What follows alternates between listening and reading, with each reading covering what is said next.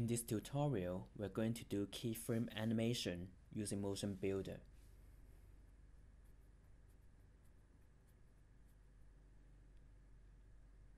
We first import 11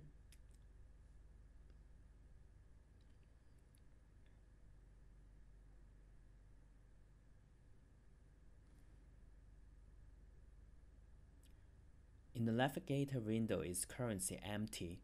This is because we have not yet selected 11. Go to the character control window and select the 11 character.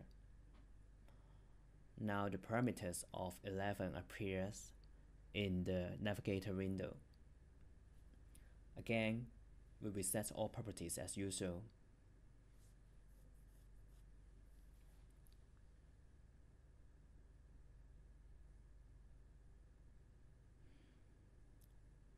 We move to the dope window and try to create a keyframe here. What we wish to do is to create a, a keyframe for the right hand, so we select the right hand. And in the dope window, we right click and select keyframe.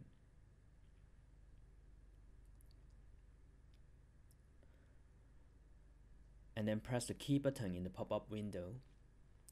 A keyframe will be created for the right hand. And then we move forward.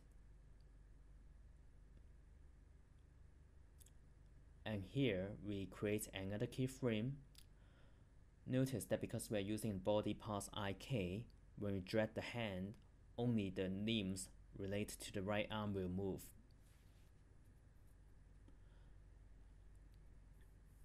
right click at the dope frame dope sheet window and click key atom again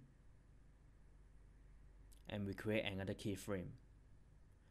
So now MotionBuilder will interpolate two keyframe and create an animation.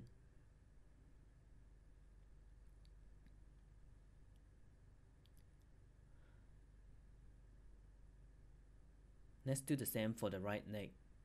This time, we try to use the rotation controller to create a keyframe. First we select a frame, right click, key atom, key, and then we use we select another term. We use the keyboard shortcut R to toggle the rotation controller to generate another posture and create another key.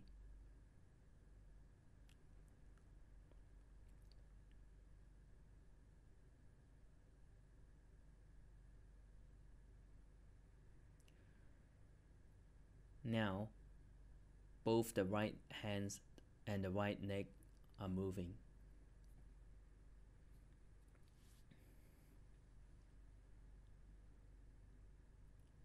Obviously, you can right click on a key and select delete to delete it. And you can also selectively delete the translation component of a key or the rotational component of a key.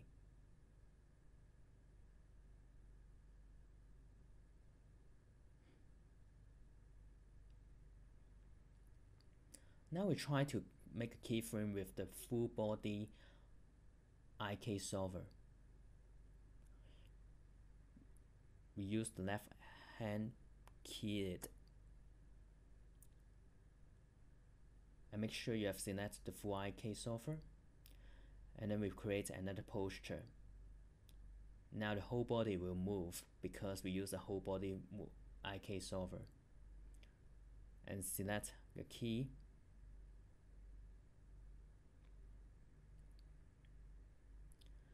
you can see that now we create another part of the body movement.